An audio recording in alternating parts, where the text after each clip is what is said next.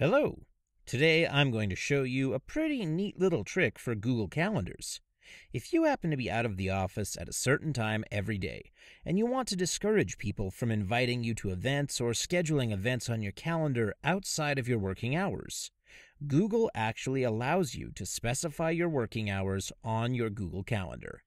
So I'm just going to open up my calendar and then head to the gear in the upper right hand corner of the screen. Next, I'm going to click on Settings.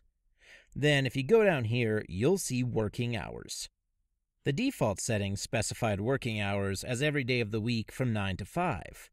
Now, if you're like me, you might want to extend your hours a little later in the afternoon, but you might also want to deselect Saturday and Sunday if that's your free time.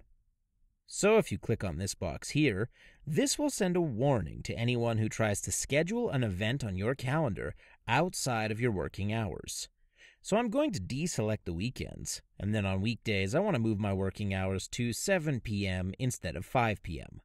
So then I'm going to go down and click on Save. Now, just to give you an idea of what this looks like, I'm going to flip to another account and try to invite myself to an event outside of my working hours. When I do this, I'm going to get this warning asking me if I'm sure, because this event is outside of that user's working hours. So this might make me discouraged and decide that if the person isn't working, I won't send them a request outside of their working hours. So I will probably discard this and then set up an event for a different time instead. That's working hours. I hope you found this helpful. I think it's a neat trick that's really quite helpful as well.